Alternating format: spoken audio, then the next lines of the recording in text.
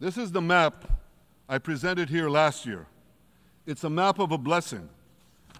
It shows Israel, Israel and its Arab partners forming a land bridge connecting Asia and Europe between the Indian Ocean and the Mediterranean Sea.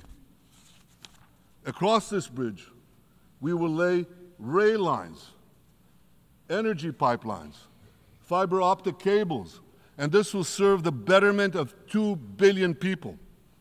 Now look at this second map. It's a map. Look at the second map. It's a map of a curse. It's a map of an arc of terror that Iran has created and imposed from the Indian Ocean to the Mediterranean. Iran's malignant arc has shut down international waterways. It cuts off trade. It destroys millions, destroys nations from within, and inflicts misery on millions. On the one hand, on the one hand, a bright blessing, a future of hope. On the other hand, a dark future of despair. And if you think this dark map is only a curse for Israel, if you think that, then you should think again.